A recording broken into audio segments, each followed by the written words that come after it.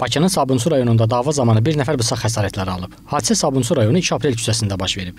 Belə ki, 1999-cu il təvəllüdlü Şamil Nəbiyev küçədə dava zamanı bıçaqlanıb. Yaralı ağır xəsarətlərlə xəstəxanaya yerləşdirilib. Daxili İşlər Nazirliyinin mətbuat xidmətindən APA TV-yə verilən məlumata görə əməli törətməkdə şübhəli bilinən şəxs müəyyən edilib və saxlanılması istiqamətində tədbirlər görülür.